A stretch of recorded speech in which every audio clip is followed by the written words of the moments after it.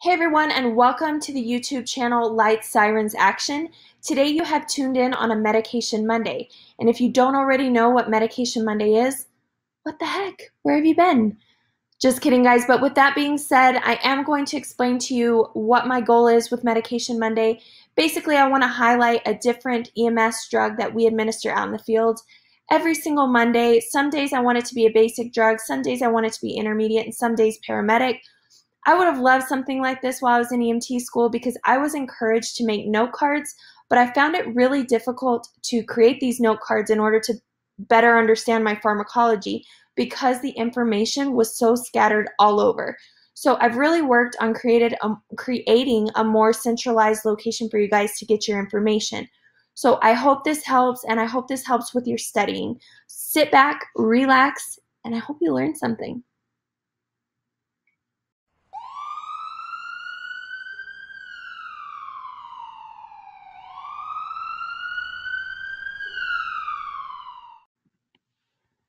All right, today we're going to be going over hydroxocobalamin.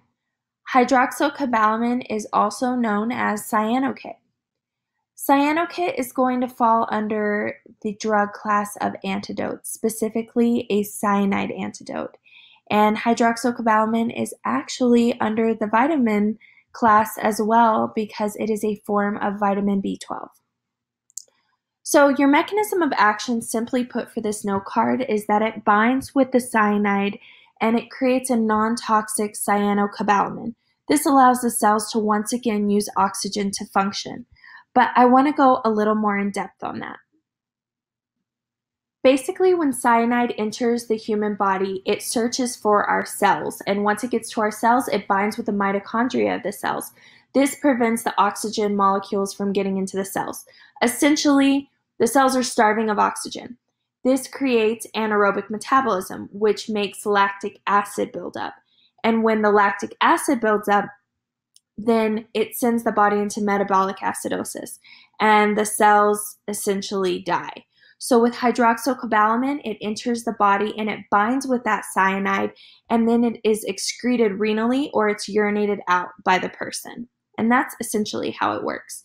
So your indications suspected cyanide poisoning, and also suspected smoke inhalation. So, with suspected cyanide poisoning, you're going to be seeing fast heart rate, dizziness, maybe cardiac arrest, um, loss of consciousness, uh, difficulty breathing. With your suspected smoke inhalations, you may see soot around the mouth, burns, or burns in the mouth. As always, with your dosages, abide by your local protocol. Your dose is going to be 5 grams IV or IO over 15 to 30 minutes. And your pediatric dose is going to be 70 milligrams per kilogram IV or IO as well.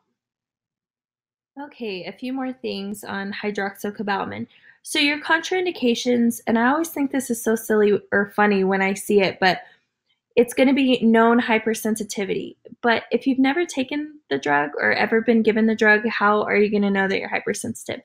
But I'll just say if you've ever had a rare anaphylactic reaction to this drug, I would imagine you probably wouldn't want to take it again. So, your adverse reactions are obviously that rare anaphylactic reaction and also transient hypertension, and you can expect to see that after the administration of the drug. A special note to remember is that you can expect temporary discoloration of the mucous membranes and the skin. It is supplied in 5 grams in 250 ml vials, and it's like a kit. So it comes with your sterile infusion set and your transfer spike. So with your drug interactions, you cannot administer hydroxycobalamin through the same line as dobutamine, diazepam, dopamine, nitro, fentanyl, propofol, sodium nitrite, and sodium thiosulfate. And honestly, that is a lot of drugs to remember to not give through the same line. So my my suggestion to you would be if you need to give these drugs to make sure and grab a second line. And last but not least, a couple of side notes on hydroxocobalamin. Your peak effect for this drug is going to be between 8 to 10 minutes.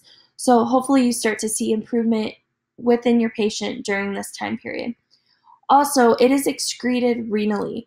and red colored urine can be expected. Just like I mentioned in our special notes, the skin discoloration and the mucous membrane discoloration, you can expect red colored urine as well.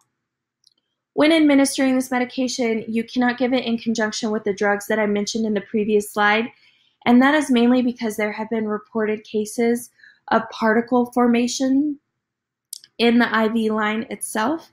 And as we all know, that is a danger and a hazard to our patients. So make sure you start a second line if you're going to get those drugs. Cyanokit is a pregnancy class C drug, and it is only recommended in pregnant women if the possible benefit justifies the possible risk to an unborn baby. With hydroxycobalamin, you can expect hypertension, and I'm talking hypertension where your systolic number is going above 180, but doctors say that within four hours in most cases that this returns back to normal. As always, please remember to abide by your local protocol and scope of practice. Just because I can do it doesn't mean you can do it. And this is purely for informational for those in the EMS field and if you are completing your drug cards. It is not to be used with in place of local protocol. Thank you so much for watching, guys. I appreciate all your love and support, and we'll talk to you later. Bye.